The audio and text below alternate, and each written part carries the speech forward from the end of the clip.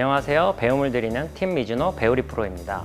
오늘은 여러분의 궁금증을 해결해 드릴 미즈노 골프 레슨 You Quiz on the 골프 일곱 번째 시간입니다.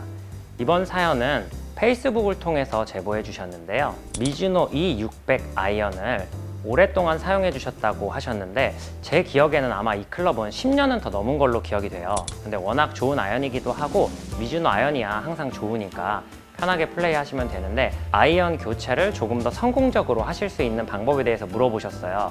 이게 미즈노에서 후원을 받고 있어서 마치 꼭 이렇게 후원 받으니까 좋게 얘기하는 것처럼 들리시겠지만 제가 처음에 미즈노 골프랑 계약을 하게 된 가장 큰 이유가 한 5년 정도 제가 아이언으로 같은 문제를 고민했었습니다.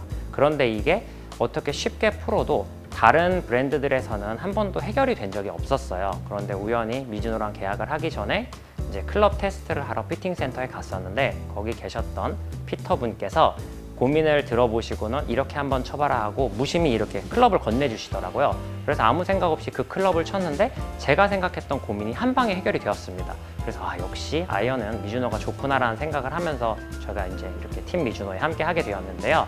사실 미즈노 아이언이야 워낙 유명하고 좋다고 소문이 나 있는 만큼 믿고 사용하셔도 좋다고 생각합니다. 그리고 아이언을 조금 더 성공적으로 구매하실 수 있는 방법은요. 우선 미즈노 피팅 센터에 전화를 하셔서 예약을 하시는 겁니다.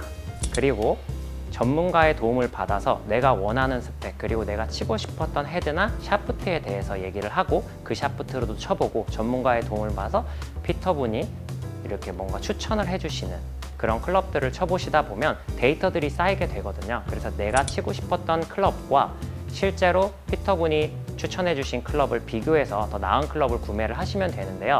저도 다이나믹 골드 샤프트를 약 20년 정도 사용 중입니다. 그런데 중간에 KBS라는 다른 샤프트가 굉장히 핫하게 유행을 하면서 저도 한번 바꿔보고 싶어서 테스트를 해봤더니 실질적으로 거리가 잘 맞을 땐 굉장히 멀리 가지만 잘못 맞았을 때는 상대적으로 너무 거리 편차가 심하더라고요. 샤프트 자체의 결함이라기보단 제가 다이나믹 골드를 오랜 기간 동안 치면서 거기에 익숙해져서 그렇다고 fitter분께서 말씀을 해주셨는데요.